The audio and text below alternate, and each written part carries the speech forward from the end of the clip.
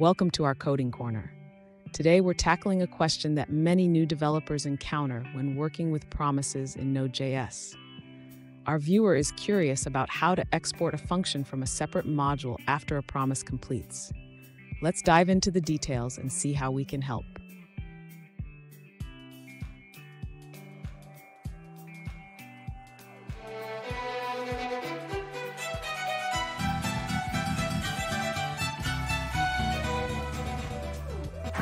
Alright guys, welcome back to another tech video. Today we're going to be going through your question, answering it, and hopefully finding that solution for you. Now, don't forget to stay just a little bit crazy like me, and hopefully you'll get to that resolution. Anyway, on to the video. Cheers. Let's start by creating a separate module for our read function. This will help us keep our code organized and reusable.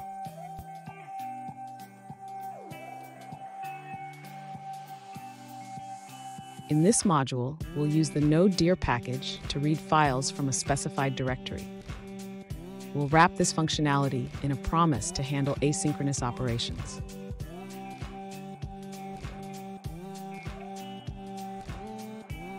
Now let's move to our main application file, app.js. Here, we will require the read module we just created.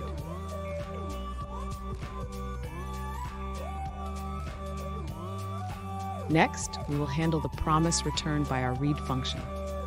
We can use the dot .then method to process the results once the promise is resolved.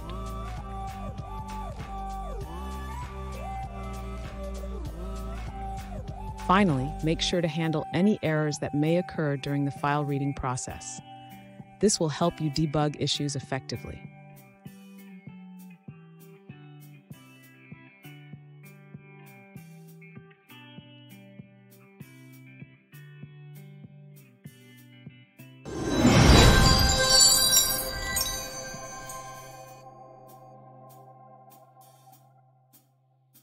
Let's now look at a user-suggested answer.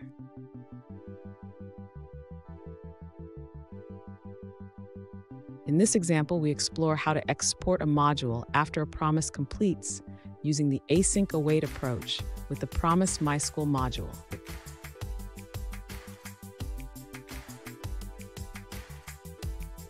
First, in Connection.js, we create a database connection function that returns a promise. This function is then exported for use in other files.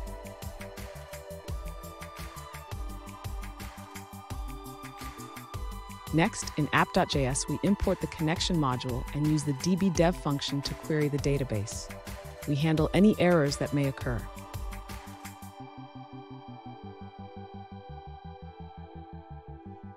Additionally, for the node_dir module, which works synchronously, we can also export a function to read files from a directory.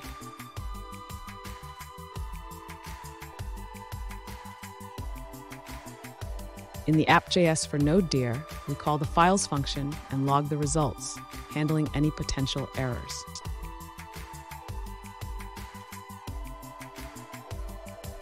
And that's it guys. We've gone through, I hope you found your resolution and found the answer you're looking for. If it helped, please hit subscribe, really appreciate it, and be on the lookout for more technical help videos. Have a good one.